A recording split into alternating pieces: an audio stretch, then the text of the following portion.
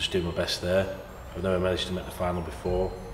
I've always had an event that's really bad for me or I've got injured. Top 10 in the world, so it still sounds good enough to me.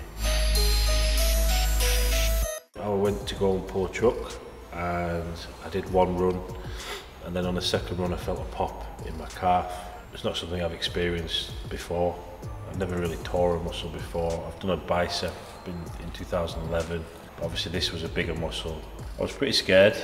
A couple of days after, it's the bruising's come out. It's functional. I'm able to walk on it. I've managed to squat, log, even done some light farmers. Maybe one week, two weeks, I'll be okay. Worlds is in four weeks, so I'm pretty sure it'll be fine.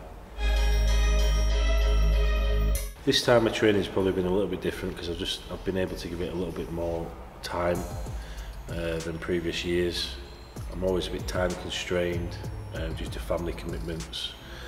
Uh, we've just got a little bit more help recently, so if I go over time, it's not too much of a stress. I can still continue my, my session and finish what I need. Even if I lose a little bit of strength, as long as I get fit and I'm match fit for, the, for, for Worlds, then I'm a good athlete, and that's what I want. Last, last year when I won Britain's Strongest Man, obviously I, I qualified for Worlds. It was in July, my baby was due in July. I said within minutes after. Um, even, I, I think he even said it in an interview when, when with Kazmai, I said, I won't be going because I've got a child coming. So Colin said to me, oh, you can have your invitation the year after. So that's how I've got my invitation and, you know, I've accepted it. So I never planned on doing Europe's as a full show. I just went there to do vlog. I just threw the hat in. I said, come on, and I'll, I'll do the full show. We needed, they needed athletes with the current times. So I went to support the show, you know, and, and get stuck in with the guys. I had a really good laugh.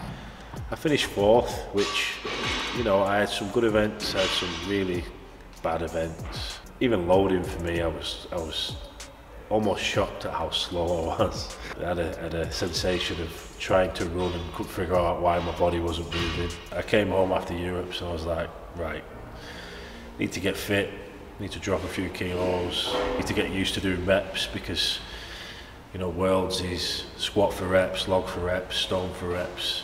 I've lost some weight, I'm fitter, um, and I'm still strong, so Europe's did me a, a big favour depends what happens with shows. It's not just the fact that, yeah, a show can go ahead and behind closed doors. It, it all depends on how our lives are affected by what's going on. Can we train properly?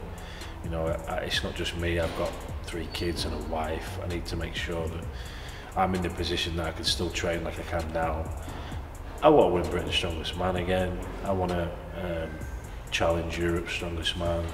I think I'm good enough. I just need to I always always say it, but I just need the stars to align for me. You know, there's always an obstacle.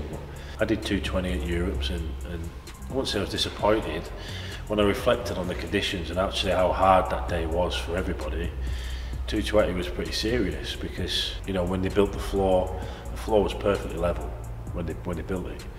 But then you have 160 kilos with 200 kilos. You've got 360 kilos on two feet. That it started to move, and the winds were you can see the winds and the flags. So I know that you know next year, as long as I have a not very many injuries, 230 is probably going to be comfortable. I've cleaned it in the gym a few times now, um, but I just got cold. Uh, but yeah, they're my main goals really. Just, just challenge for Brits again and uh, podium at Europe's, but I want to win Europe's.